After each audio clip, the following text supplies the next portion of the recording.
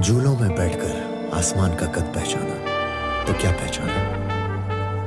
किनारों को जोड़कर नदियों का मिजाज जाना तो क्या जाना?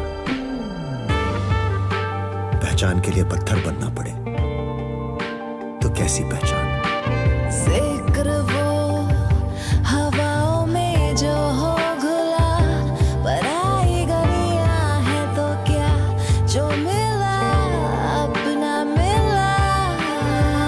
पहचान वो जिसकी महक खुली हवा में हो पान बहार।